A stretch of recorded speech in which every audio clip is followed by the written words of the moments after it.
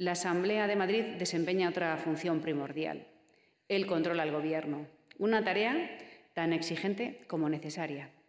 Porque hay que recordar que una democracia saludable es aquella en la que el Poder Legislativo controla al Ejecutivo con luz y taquígrafos, y donde ninguno de esos dos poderes invade, corrige ni coarta al judicial, que es garantía frente a cualquier exceso o arbitrariedad.